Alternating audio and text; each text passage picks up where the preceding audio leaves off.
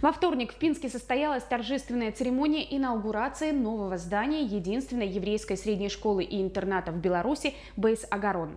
Особую значимость событию придало присутствие почетного гостя, господина Аарона Бельского, одного из членов партизанской семьи, спасшей жизни более 1200 еврейских мужчин. Вместе с многочисленными гостями из разных стран мира участие в праздничном мероприятии приняла и наша съемочная группа.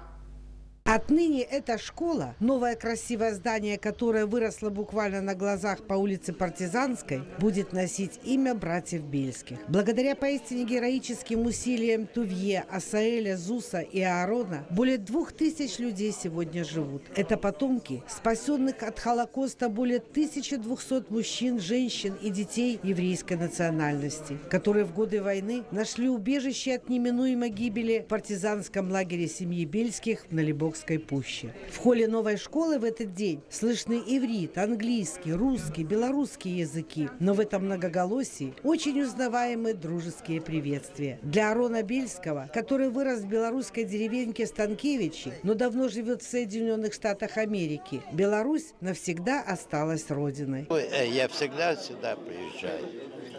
Один раз в год. Почему? Аарон, почему? Родина. Я родился здесь, поэтому здесь вырос.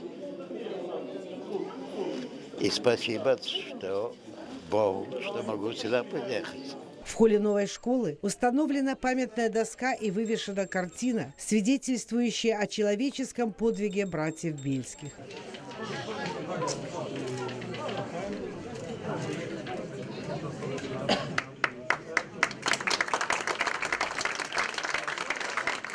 Конечно, Аарон Давыдович благодарен и горд, что таким образом увековечена память о его близких. Сегодня открывается школа, которая будет названа в честь братьев Бельских. Очень красиво, большое спасибо. Братья Бельские – это те, кто во время войны спас 1200 евреев. Они были лучшими во всем. Вот кто такие Бельские. И поэтому эта школа будет названа в их честь. Знаменательным событием не только в жизни еврейской общины и города Пинска, но и в целом в развитии белорусско-израильских отношений назвал открытие новой школы посол Израиля в Республике Беларусь Иосиф Шагал. Событие прекрасное, открытие еврейской школы. Что может быть лучше для посла Израиля? Ну, кроме того, присутствие легендарного человека, господин Бельский, это, это легенда, и я, в, этот, в этот момент я горд, что я и посол Израиля, и в Республике Беларусь, потому что этот человек объединяет две страны, еврейскую нацию и героизм белорусских партизан, который не имеет национальности, который наднационален. Вообще героизм белорусского народа в годы войны – это особенное что-то, это заслуживает особого разговора. Так что поводов достаточно. От имени городской власти Арона Бельского приветствовал заместитель председателя горисполкома Александр Коневский. В нашей стране с глубоким уважением относятся к таким людям, и на примере их жизни и подвига воспитывают молодежь. Разрешите от имени Республики Беларусь вручить Бельскому Арону Давидовичу, активному участнику партизанского движения на территории Беларуси, государственную награду, памятную медаль 70 лет освобождения Беларуси от немецко-фашистских захватчиков. Медаль вручает глава представительной власти нашего города, председатель Пинского городского совета Гордич Александр Александрович.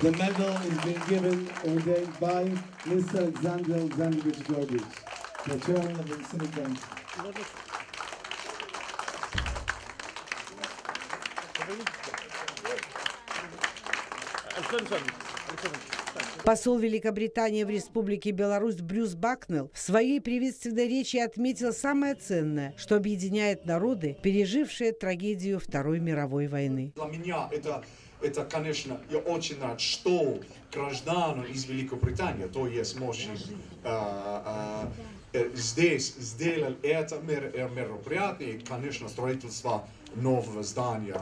И, конечно, я очень рад, что это не только из uh, США, не только из Великобритании, также, конечно, это особенно uh, uh, люди, гости из Пинска здесь сегодня, потому что вместе мы должны вспомнить ужасные события 20 века, чтобы мы не повторить на 21 веке.